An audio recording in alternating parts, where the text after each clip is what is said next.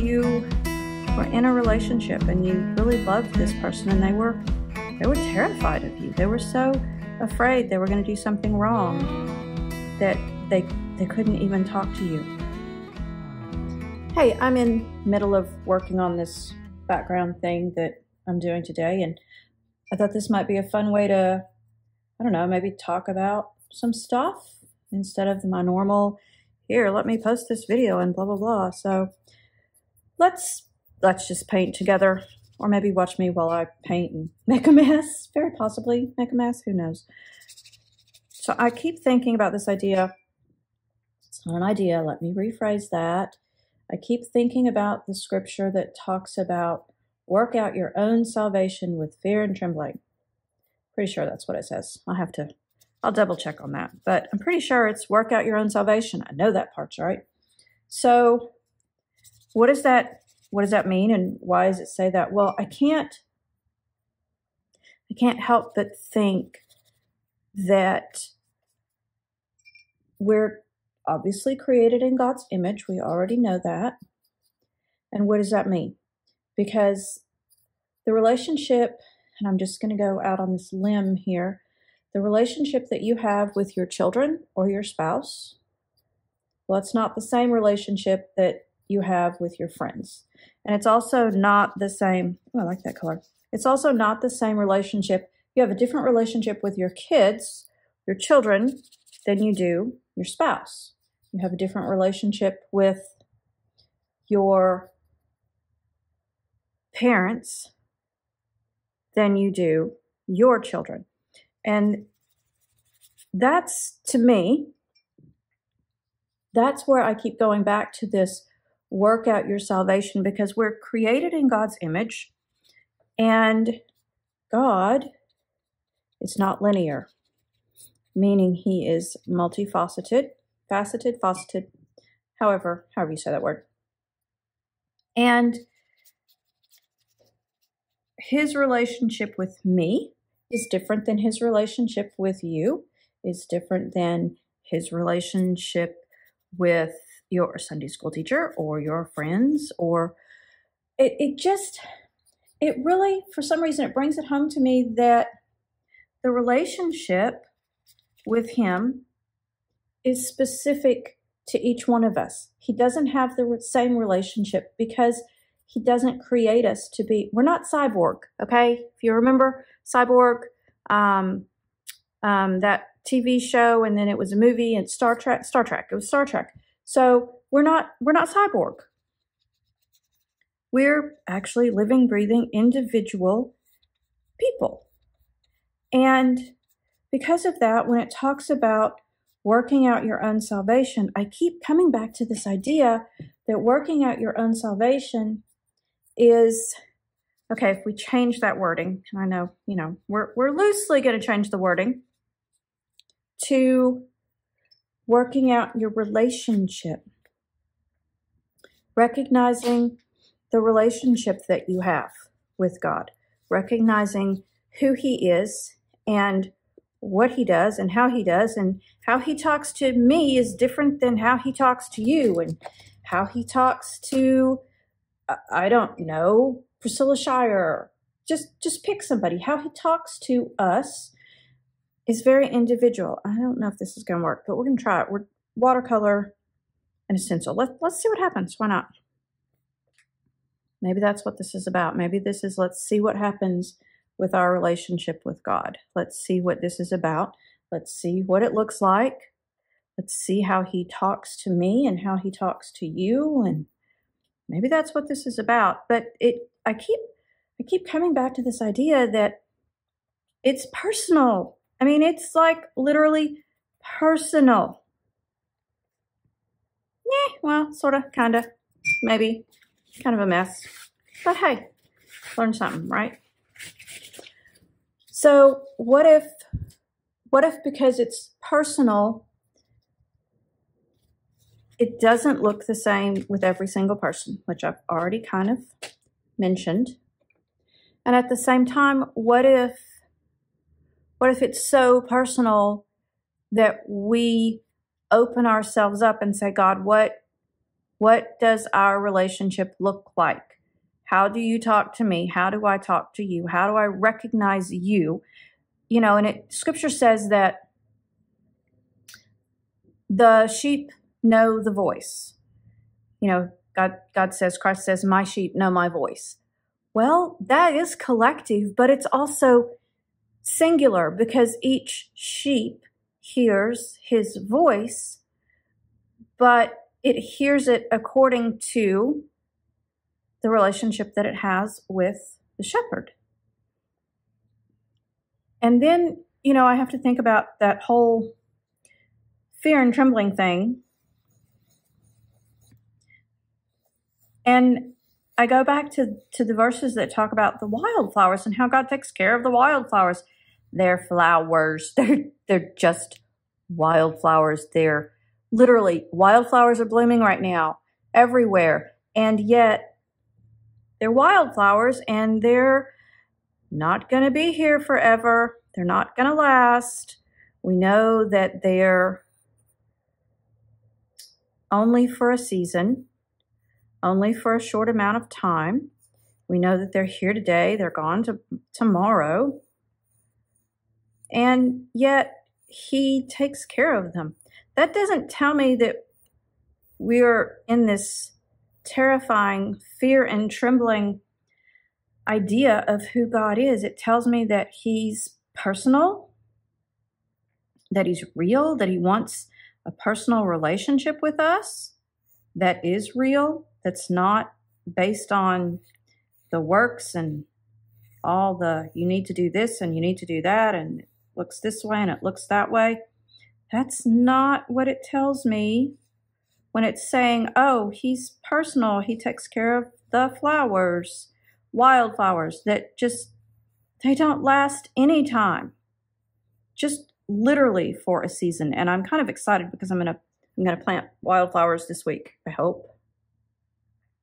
So doesn't that say maybe, maybe this idea of fear and trembling is, maybe it's a, a little not quite exactly. What if fear and trembling? Okay, let me put it this way. In the summer, there are lots of outdoor concerts, um, lots of concerts. And what if those concerts are the times that we get excited? Well, we know they're the times we get excited. So you have a concert you're going to, you can't wait to get there, you love the artist, you've been following them forever, it's amazing, you can't wait to see this artist in concert. They're just the best ever. And then all of a sudden you're there, but you're so excited you're trembling and you're jumping up and down and you're excited. And it's not a fear excitement, it's an actual excitement. Now, how cool is that? It's an actual excitement. It's oh my gosh, I can't believe I'm here. I can't believe I get to see this. I can't believe I get to experience that. What what if that's what fear and trembling is in scripture? It's the excitement of knowing you get to hang out with the king of the universe. You get to hang out with the creator, the person who made you, who made everything else in the entire world, including wildflowers. And and it's not like, okay, well, I get to go see this concert and this this band or this person that I love and I can't wait and I'm excited and I'm I'm shaking because I can't wait to get there and I'm jumping up and down when I'm there. And on top of that, this concert, this band, this person you can't wait to see that you're all excited about actually invites you back to their bus because they want to know you personally. Now, how stinking exciting would that be? How exciting would it be to know that someone that is that famous, that is all of that, wants to get to know you personally? Wouldn't that be kind of crazy? Wouldn't that be seriously out there? And yet, that's exactly that's exactly what Christ does. That's exactly who God is. So maybe maybe this idea of fear and trembling is not terrified, afraid that, you know, you're going to do something wrong and you're going to get in trouble and and I'm terrified because he's the king and he's going to get me and he's out to get me. And maybe it's not that. Maybe it is. Wow. He's the king of the universe. He created everything and he wants to hang out with me. What if that's what it is? What if it's much more that direction than it is, okay, I'm terrified. This is just, oh, what if he gets me? What if he gets mad at me? What if I do something wrong? Maybe that's not it. Maybe it's maybe it is the idea of the concert and the fun. Wouldn't that be much more in line with the character that scripture describes God as having? Instead of this, I'm going to get you and you're in trouble. That's, could we hang out? Can we, can we be together? Can, can we talk and can we spend some time? Maybe we could, maybe we could have, I don't know, how about some lemonade? I don't know. I'm just I'm just throwing it out there because it just seems like we get so caught up in the in the terrified and the scary and the yikes. Can't figure out what color I want here. I'm going to use this one. We get so caught up in all of that that maybe we miss this relationship that scripture says we can have, this personal ongoing relationship that God wants to have with us, that he wants to be with us and hang out with us and guide us and give us some help because, you know, I can definitely use some help all the time, actually. And I think that's where I'm going because I see this happening and I see these ideas and I see these thoughts that pop into my head. And I saw one this morning when I was on Facebook for a few minutes.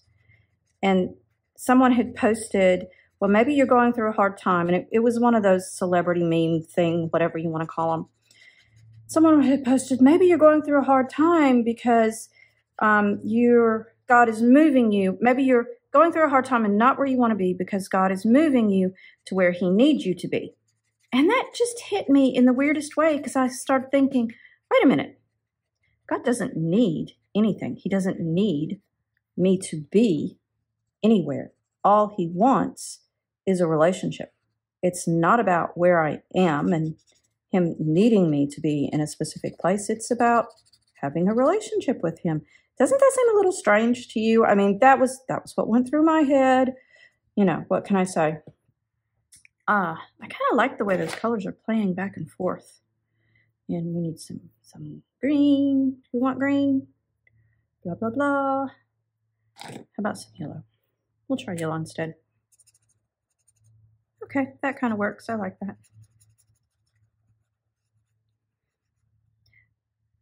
I just, I went back to that idea that maybe, maybe this isn't what I thought. Maybe this isn't what we've been taught or what has been suggested to us. Maybe this is, maybe this is too much fear and trembling and not enough love and safety and grace and happiness and just hanging out with the Lord. Wouldn't that be crazy? Wouldn't that be crazy? And cool and kind of fun. I don't know. Can you can you relate to that at all? Does it make any sense at all that maybe we've maybe we've taken an idea that that says we're one thing and we think we're one thing and we think we're one direction and we end up being totally off kilter and not really seeing the reality of what it is. We see something that's just not not what God intended. I don't know, is it possible? Is that possible to to just think about and see something that God didn't actually intend for us to experience or I mean how how scary would it be if you were in a relationship and you really loved this person and they were they were terrified of you. They were so afraid they were going to do something wrong that they they couldn't even talk to you. And when they tried to talk to you, they were so scared they were going to say the wrong thing or do the wrong thing they couldn't have a true relationship with you. I mean, that would be like all kinds of I think that would be all kinds of sad and difficult. And I know it wouldn't make me very happy to try and be in that kind of relationship with someone. I don't like the way that's working at all. We're going to go to this one. Yeah, so I don't know. What what do you think? I am I wigging here? Am I am I losing it? Very possibly. I don't want a relationship with God where I have to be terrified of him. I don't want a relationship with God where I'm constantly afraid that he's going to zap me for something. It doesn't sound like fun. That doesn't sound like what scripture has actually said he is and how he behaves. I don't know. That's that's not the portions of scripture that that I read about. If you have you read something else? Do you see something? What's your take on this? I would love to know if you could let me know in the comments. That would be great. I'm always ready for a little more thought, conviction, con, not conviction. What's that word? Conversation. Conversation. That's the word I'm going for. More conversation. Okay. Um. Yeah, that's that's where I'm at today. So I'm gonna put this in speed mode and finish it up. So yeah, I'm I'm looking forward to wildflowers and a wild relationship with God, not a not a scary, not a do something wrong, freak out. So, okay. I'm going to finish this. I'll put it in speed mode and I'll talk to you later.